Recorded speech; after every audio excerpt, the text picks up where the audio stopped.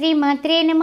శ్రీమాత శ్రీ మహారాజ్ని శ్రీమత్ సింహాసనేశ్వరి చిదగ్నిగుండ సంభూత దేవకార్య సముచత ఏ దేవుణ్ణి ఏ రోజున పూజిస్తే మనకి ఆనందం కలుగుతుంది? ఆ విషయం చెప్పుకుందామా? మనందరికీ కూడా చాలా ముఖ్యమైనటువంటి దేవుడు ఎవరు ప్రతిరోజు లేవగానే రవి మిత్ర సూర్య ఖగ భాను పూష హిరణ్య గర్భ మరీచ ఆదిత్య సవిత్ర అర్క భాస్కరేభ్యో నమ. సూర్య భగవానుడు ఆ సూర్య భగవానుడిని పూజిస్తే మనకి ఆరోగ్యం ఇస్తాడు. అందువల్ల ఆత్మకారకుడు అని జ్యోతిష్య శాస్త్ర ప్రకారం కూడా ఈ యొక్క ఆత్మకారకుడైనటువంటి రవికి పెద్ద పీట వేశారు. అంటే మొట్టమొదటి పెద్ద మనిషి ఆయన. మూలం అనమాట మూల పురుషుడు. ఆ తర్వాత భోగభాగ్యాలు కలగాలి. భోగభాగ్యాలు కలగాలంటే మరి ఏ దేవుణ్ణి పూజించాలి? అమ్మవారిని పూజించాలి. అమ్మవారికి ప్రతీక అయినటువంటి చంద్రుణ్ణి పూజించాలి. చంద్రమా మనస్సో జాత చక్షో సూర్యో అజాయత అంటుంది శాస్త్రం. చక్షు అంటే కళ్ళకి మూలం దృష్టికి మూలం సృష్టి. ఆ సృష్టికి మూలమైనటువంటి సూర్యభగవానుడు మొట్టమొదటి మనం పూజించాం. ఇక రెండు ఏమిటంటే ఈ చంద్రుడిని పూజిస్తాం భోగభాగ్యాల కోసం.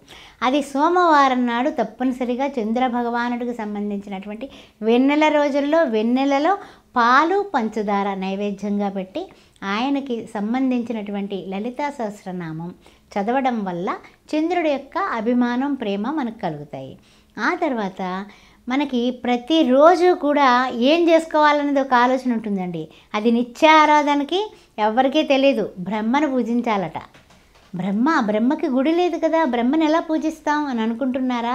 బ్రహ్మ తేజస్సు కోసం కీర్తి ప్రతిష్టల కోసం యశస్సు కోసం ఆనందం కోసం ఐశ్వర్యం కోసం మన తలరాతని విధాత తప్ప ఎవరు కూడా రాయరు కాబట్టి ఆయనకి నమస్కారం చేసుకోవాలట. మనం ప్రొద్దున లేచి లేవగానే ఏం చెప్తాం? గురు బ్రహ్మ గురు విష్ణు అంటున్నాం కదా. గురువు ఎవరు బ్రహ్మే. అందువల్ల గురు బ్రహ్మ గురు విష్ణు గురుదేవో మహేశ్వర గురు సాక్షాత్ పరబ్రహ్మ పరబ్రహ్మ అపర బ్రహ్మ. అందువల్ల ఆ పరతత్వం అన్నటువంటి పరబ్రహ్మని మనం పూజించాలా వద్దా? అందువల్ల గురు బ్రహ్మ గురు విష్ణు అనే శ్లోకాన్ని దేవుడి దగ్గర చదవడం మానకండి. అది పూజ చేసినట్లే. అదేవిధంగా బలం అభివృద్ధి అవ్వాలి. బలం అంటే మనకి శక్తి. శక్తి అభివృద్ధి కావాలంటే మంగళవారం నాడు తప్పనిసరిగా కుజుడిని పూజించండి. కుజుడు అంటే సుబ్రహ్మణ్యేశ్వర స్వామి. సుబ్రహ్మణ్యేశ్వర స్వామి అష్టకం చదువుకోవడం కానీ ఓం సాం శరవణ భవ ఓం శాం శరవణ భవ ఓం శాం శరవణ భవ అనుకోవడం కూడా సుబ్రహ్మణ్య ఆరాధన కింద వస్తుంది. అదేవిధంగా ఆ రోజున వడమాల ఒకటి ఆంజనేయ స్వామికి సమర్పిస్తే ఇంకా మంచిది. నల్ల మినుములతో పొట్టు మినుములతో చేసినటువంటి వడమాల. ఆ తర్వాత మనకి ఎప్పుడు కూడా మనము అనుకుంటూ ఉంటాం ఏమనంటే అన్ని రకాల ఐశ్వర్యాలతో అన్ని రకాల ఆనందాలతో మనం బాగుండాలి అంటే కనుక విభూది కి ప్ర ప్రతీక అయినటువంటి ఈశ్వరుణ్ణి మనం పూజిస్తూ ఉంటాం కదా ఇంద్రుడు కూడా విభూదికే కట్టుబడతాడట. విభూది అనేది ధారణ చేయడం కానీ విభూది అనేది అభిషేకంలో వాడటం కానీ విభూది అనేది నోట్లో వేసుకోవడం కానీ ఇంద్రుడికి ఈశ్వరుడికి కూడా ఇష్టమైనటువంటి విభూదిని నిత్యము విభూది ధారణ చేయడం చాలా మంచిది అని చెప్పబడింది. తర్వాత ధనం కోసం అగ్నిని అంటే పొయ్యి అంటిస్తూ ఉంటారు మన ఆడవాళ్ళు ముఖ్యంగా. ఆ గ్యాస్ ఎలా అంటించగానే కనుక ఇప్పుడు పొయ్యిలు లేవు కాబట్టి గ్యాస్. గ్యాస్ అంటించగానే ఆ యొక్క అగ్నిదేవుడికి ఒక నమస్కారం చేసుకోండి. తప్పనిసరిగా అగ్ని మనల్ని చక్కగా కాపాడుతాడు. అది నిత్య ఆరాధన నిత్య అగ్నిహోత్రం కింద లెక్క. ఆ విషయం గుర్తుపెట్టుకోండి. ఆ తర్వాత కర్మ సిద్ధికి అంటే ఏంటి మనం చేసుకున్నటువంటి రకరకాలైనటువంటి కర్మానుబంధే మనుష్యలోకే అంటారు కదా. అన్ని కర్మలు మూటగట్టుకునే కదా మెళ్ళ వేసుకుని వస్తున్నాం. అలాంటివన్నీ కూడా మనం తప్పించుకొని మనం మంచి తనంతో మన యొక్క ఇప్పుడు చేసేటటువంటి అన్నీ కూడా సత్కర్మలుగా సదాచారంగా సదాలోచనలతో మనం ముందుకు వెళ్ళాలంటే ఎవరిని పూజించాలి? బుద్ధికి బుద్ధికి సంబంధించి వినాయకుడిని పూజించాలి. సిద్ధి బుద్ధి ప్రదాత వినాయకుడు. అందువల్ల ఓం గం గణపతే నమ అని బుధవారం పూట వినాయకుడిని పూజించడం మరి మంచిదే కదా?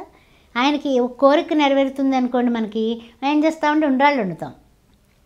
సరే కోరికలు నెరవేరడం లేదు ఏం జరగడం లేదు ఏం చేయాలంటే చక్కగా ఇరవై ఏడు సార్లు గుంజలు తీయండి. తప్పనిసరిగా ఆయన నవ్వుకొని మన కోరిక నెరవేరుస్తాడు. ఇంకొక విషయం చెప్పిన? నలభై లడ్డూలు తీసుకోండి. బుధవారం పూట నలభై లడ్డూలు అయ్య అయ్యవారైనటువంటి వినాయకుడికి చక్కగా నైవేద్యం పెట్టండి. నైవేద్యం పెట్టి మీరందరికీ మీరు అందరికీ కూడా మీకు తెలియని వాళ్ళకి తెలిసిన వాళ్ళకి అందరికీ పంచండి. పుట్టినరోజా అని అడిగారనుకోండి ఒక నవ్వు నవ్వండి. పెళ్ళి రోజా అన్నారనుకోండి పెళ్ళైన వాళ్ళైతే అప్పుడు కూడా ఒక చిన్న చిరునవ్వు నవ్వండి. కానీ ఏమీ చెప్పబాకండి. మీ కోరికలు నలభై ఒక్క రోజుల్లో నెరవేరిపోతాయి.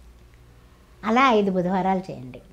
ఆ తర్వాత బ్రహ్మజ్ఞానానికి బ్రహ్మజ్ఞానం కలగాలి. బ్రహ్మతత్వమే కాదు బ్రహ్మజ్ఞానం కూడా కలగాలి. అందుకని జ్ఞానాదేవతు కైవల్యం అన్నారు. కైవల్యానికి వెళ్ళాలంటే జ్ఞానం కావాలి కదా. అది అవసరం లేదంటే నేనేం చెప్పలేను కానీ అవసరం ఉంది.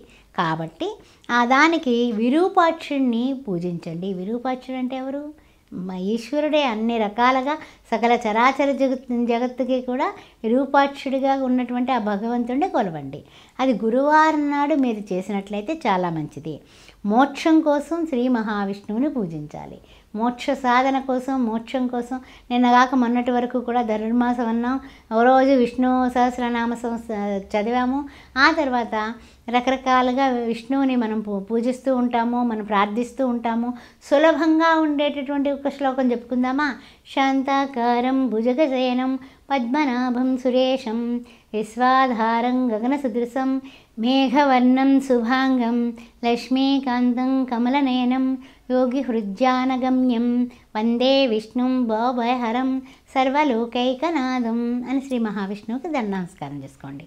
ఈ విధంగా మనం శని శనివారం నాడు మిగిలిపోయింది అనుకుంటున్నారా శనీశ్వరుని పూజించండి ఏం పర్వాలేదు. శని శని ఈశ్వరుడు. ఈశ్వరుడికి అభిషేకం చేయించుకోవడం శని భగవానుడి నీలం రంగు పుష్పాలతో మాత్రమే శని భగవానుడు అర్చించాలి. ఇంక వే ఆ నీలం రంగు పుష్పాలతో వేరే వాళ్ళని పొరపాటును కూడా అర్చించకండి. శంఖం పూలని ఉంటాయి కదా అవి ఓన్లీ శనికి మాత్రమే చెందినవి. జాగ్రత్త. ఆ విషయం గుర్తుపెట్టుకోండి. ఇది ఇవన్నీ కూడా కూర్మ పురాణంలో చెప్పబడిందండి. భాగ్యలక్ష్మి సొంతంగా చెప్పినవి కాదు కూర్మ పురాణంలో ఏ దేవుణ్ణి ఏ రోజు రోజును పూజిస్తే ఏం కలుగుతుంది అని చెప్పబడింది. అదే నేను మీకు అందిస్తున్నాను. మరి ఉండనా మరి? మీ భాగ్యలక్ష్మి ఈ యొక్క సోషల్ మీడియాలో మీ గ్రూప్స్ అన్నిటిలోని కూడా ఈ వీడియోని మీకు నచ్చినట్లయితే తప్పనిసరిగా షేర్ చేయండి. మనం వినడమే కాదు పది మందికి పంచడం వల్ల కూడా చాలా మంచి పుణ్యం కలుగుతుంది. నమస్తే.